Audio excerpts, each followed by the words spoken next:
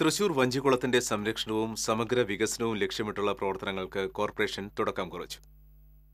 തൃശൂർ നഗരത്തിന്റെ ഹൃദയഭാഗത്തായി സ്ഥിതി ചെയ്യുന്ന നൂറ്റാണ്ടുകൾ പഴക്കമുള്ള വഞ്ചിക്കുളത്തിന്റെ സംരക്ഷണം മുഖ്യ ലക്ഷ്യമാക്കിയുള്ള നടപടികൾക്കാണ് കോർപ്പറേഷൻ മുൻകൈയെടുക്കുന്നത്.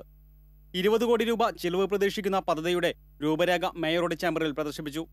കുളം ശുചീകരണത്തിനൊപ്പം നടപ്പാതയും ഇരുചക്രവാഹനപാതയും ചേർന്നുള്ള വിനോദസഞ്ചാര കേന്ദ്രമാക്കി വഞ്ചിക്കുളത്തെ ഉയർത്തുകയാണ് കോർപ്പറേഷന്റെ ലക്ഷ്യം. ഇതിനായി ടൂറിസം വകുപ്പുമായി സഹകരിച്ചാകും വികസന പ്രവർത്തനങ്ങൾ നടത്തുക. കൂടാതെ സമഗ്ര പദ്ധതി നിർവഹണത്തിനായി K L D C Thrissur railway station എന്നിവിടങ്ങളിലെ സഹകരണവും കോർപ്പറേഷൻ പ്രതീക്ഷിക്കുന്നുണ്ട്. അതിന്റെ കോസ്റ്റും ഏകദേശമൊക്കെ പറഞ്ഞു കഴിഞ്ഞാൽ കുറച്ച് സ്ഥലം കൂടി വാങ്ങേണ്ടതുണ്ട്. നമ്മളിപ്പോൾ ട്രീറ്റ്മെന്റ് പ്ലാന്റ് ഉണ്ടാക്കാൻ വേണ്ടിയിട്ട് കഴിഞ്ഞ നമ്മുടെ പദ്ധതിയിൽ തന്നെ പൈസ വെച്ചിട്ടുണ്ടായിരുന്നു. അപ്പോൾ അതനുസരിച്ചിട്ട് അത് നമ്മൾ വാങ്ങും.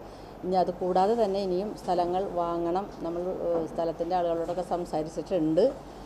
എന്തായാലും അപ്പോൾ ആദ്യത്തെ ഒരു സ്റ്റെപ്പ് എന്ന നിലയ്ക്ക് നമ്മളിപ്പോൾ കുറച്ച് ഒരു കുറച്ച് ചെയ്യാം എന്നാണ് വിചാരിച്ചിരിക്കുന്നത്.